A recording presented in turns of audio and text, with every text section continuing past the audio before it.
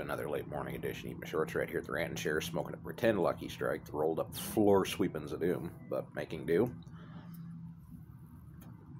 And sorting out the world's problems one slow inhale to a time, or at least whatever passes for one today. Oh, in my last video, I kind of gave a, a life updates thing. I'm, I'm kind of taking the day off because mom's gone and I rarely get peace and quiet.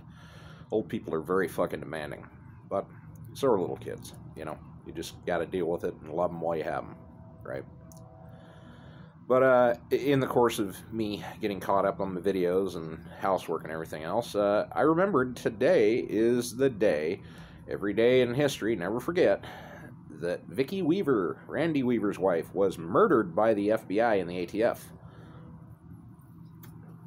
By the way, um, his crime, he was forced, kind of goaded into, right? Entrapment.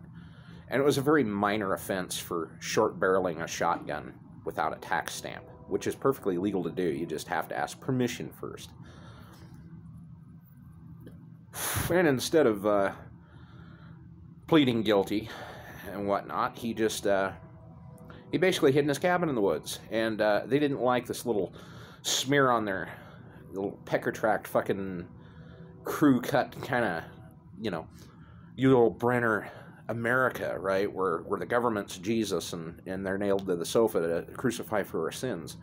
So what he did was he told them to eat his shorts, and uh, oh, through the course of uh, the standoff there at Ruby Ridge. By the way, I grew up next to Ruby Ridge, Idaho, and I was around in the '90s for that. Although I was a little kid, I even met Randy at the gas station one time, Miller's grocery store.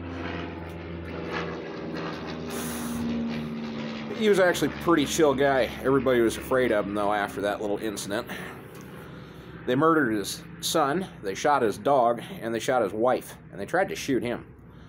And he sued him, by the way, and he won. But they've still never been able to publicly apologize for their crime. Uh, they've still never been brought to justice for this crime. And these are the same motherfuckers that are making all these dumbass frame, receiver, oh, brace rulings, all this stuff. Dettelbach, all of them. Uh, the one guy who was supposed to be in charge of the ATF at one point until enough people raised hell, uh, he was actually at Waco. Yeah, that's the same motherfucker.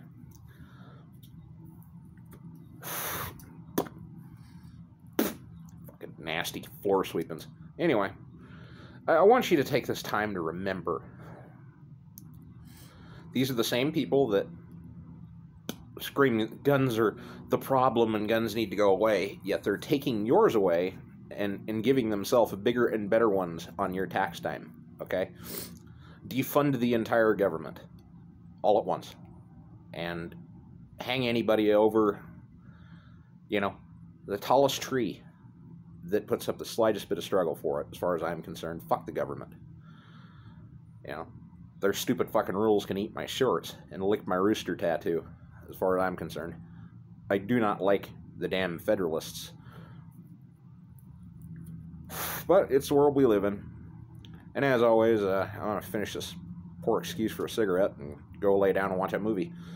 So, I'll yak at you later, Internet.